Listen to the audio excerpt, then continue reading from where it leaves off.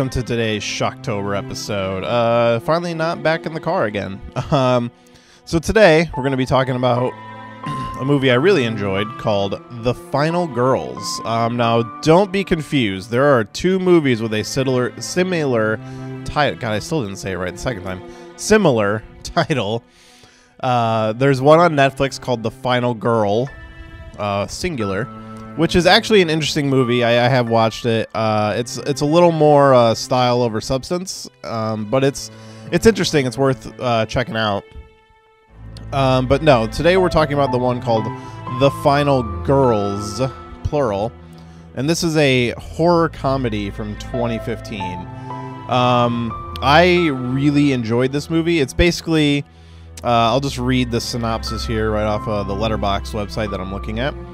But it says a young woman grieving the loss of her mother, a famous screen scream queen from the 1980s, finds herself pulled into the world of her mom's most famous movie. Reunited, the woman must fight off the film's maniacal killer. Uh, yeah, so it's a horror comedy about a group of friends. It's like um, they watch this uh, horror movie every year. It's like the anniversary of the horror movie. It's kind of like a Friday the 13th ripoff. And it's like this movie that has this big cult following. And her mom was like one of the stars of the movie, but she's like the shy. They keep calling her the shy girl with the clipboard, and she gets killed after boning this dude. But uh, this group of friends gets uh, they're in the, the theater watching the movie, and one of them is the girl's daughter, and she they all get pulled into the movie, and uh, they kind of start like living out the events of the movie. One of the guys is like a super fan, so he just wants to sit back and watch all these people get axed, and it's like, yeah, I assume at the end we can just you know when the movie's over we'll get out. Um, but uh, it doesn't go that way. Eventually, the killer starts recognizing them and killing them, and like thinks they're characters. Uh, but it, it was really fun. It's really funny. Um, I love horror comedies, but I love horror movies that subvert the genre and self-aware horror movies are nothing new. But um, this one gives it a unique spin and manages to have some heart at the same time. Um, because the whole crux of the story is this girl whose mom was the, in this movie, and the movie opens with them hanging out, and uh, they get into a car accident, and her mom dies and it's like a year later. And so she's uh, hanging, or you know, her friend convinces her to go to the screening, and then there's a fire in the theater, and they kind of cut the screen and jump in, and that's how they end up in the movie.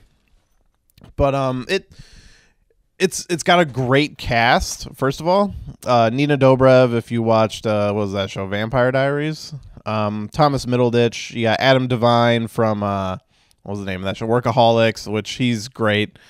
Uh, and there's you know it's you got the characters that fit the stereotypes of these type of movies. Like there's the slut who like can barely manage to keep her clothes on and like her whole the whole concept of her character she's just like the whole thing is she performs a strip tease at some point in the movie which brings the killer out and she's just like constantly wanting to take off her clothes so they put her in like a life jacket with mittens and stuff so she can't do anything and they, they are literally just the interpretations of their characters. Like Adam Devine is the dude bro, and uh, it's it's also like a period movie though. It takes place in like the seventies or eighties, and um, so they kind of play with some humor for that. And then they have the hero, the girl who's supposed to be the hero of the movie, who you know, it's like, oh, the virgin is the hero in the uh, slasher film but she's like this hardcore biker chick looking girl and she ends up getting killed right away. Like they're like all right well let's just like stick to her and like follow the plan of the movie and everything will be fine because the killer will just kind of ignore us because we're not part of the plan. Um but um like immediately everything goes wrong and like the hero of the movie ends up getting killed. And so they're like oh fuck now what are we gonna do? And then now they have to start kind of changing the movie but uh, the twist kind of comes in where um, the main actress she wants to save her mom, even though it's not really her mom; it's this character in the movie. But um, and Malin Akerman plays the mom, who I, I think is a great actress, and she's a great choice. Uh, I don't know how to say the main actress's name, Tha- Taissa Farmiga.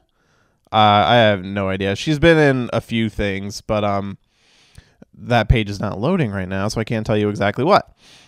Okay, she was in the Bling Ring, which was terrible. She's going to be in that Nun movie that's coming out based on The Conjuring.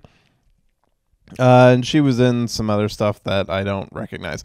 But um, everybody was like really great in the movie. Everybody kind of played their part. Um, there's some funny stuff where you know it's technically the movie takes place in like the 70s or 80s, and they're referencing stuff nowadays like cell phones and stuff and Pilates and all these like kind of upscale things that nobody really knew or cared about in the 70s. So there's just like, what are you talking about? Um, but the Final Girls is highly entertaining. It's really funny. Like at first when I started to watch, I had heard that this movie was good, but I, I didn't know. Obviously, you never know until you see it for yourself. But when I started it, I was kind of like, oh man, is this gonna be good? Is this gonna be garbage? I have no idea. But it turned out to be really great, and I loved it, and I highly recommend The Final Girls. Um, if you love a horror comedy, I think you have to watch it. If you want those movies that subvert the genre, kind of like Cabin in the Woods and stuff like that, it's along those same lines, but taking a different, a little more fantastical approach. Not that fucking Cabin in the Woods wasn't fantastical with what they were doing, but it's just another way to uh, look at it. But yeah, highly recommend The Final Girls. And that's going to be it for today's Shocktober episode. Sorry if you heard a lot of uh, random noise in the background. My cats are just freaking out right now. They're running around playing. I have no idea what's going on. But some of that might have picked up. But sorry about that if it did.